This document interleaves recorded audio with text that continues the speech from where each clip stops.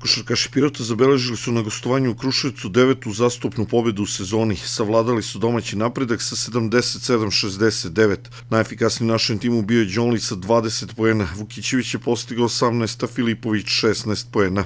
Naši košarkaši preuzeli su prvo mesto na tabeli pošto je ekipa Čačka poražena u Smederevskoj palanci od ekipe mladosti. KK Pirot ima skor 9-1 i u narednom kolu dočekuju upravo ekipu mladosti iz Smederevske palanke. U devetom kolu druge ženske lige košarkašice gimnazijalac Tigra savladale su u Beogradu ekipu radničkog sa 84-76. Iako su bile oslabljene, hrabrom igrom, posebno u poslednjoj četvrtini, nadoknadile su prednost domaćih tima od 11 poena i na kraju stigle do izuzetno važne pobede četvrte u prvenstvu.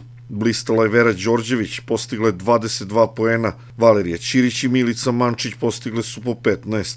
U narednom kolu gimnazijalac Tigar dočekuje lidera prvenstva, ekipu Novosadske ženske košarkaške akademije.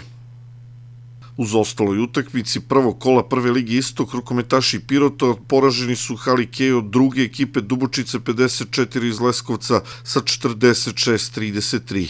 Najefikasniji u našem timu bili su Gogov sa 11 i Beširević sa 7 golova.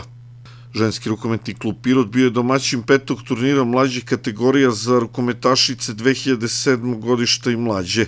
Ekipe Zaječara i Knjaževca nisu se pojavile u Pirotu, pa je odigrano nešto manje susreta. Ekipa na Ise bila je bolja od Bora i Rtnje iz Boljevca. Artanj iz Boljevca u dve utakmice ubedljivo savladao mlade rukometašice Pirota. Minimaxi Liga Pirot za sezonu 2021-2022 startovala je minulog vikenda revijalnim delom.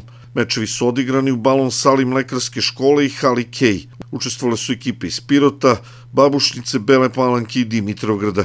Kroz 23 gradska turnira najuspešnije ekipe plasiraće se na završne turnire prvenstva Srbije. O rezultatima ovoga puta nećemo. Podsećamo da je slogan Minimaxi Lige Igraj futbol, budi srećan.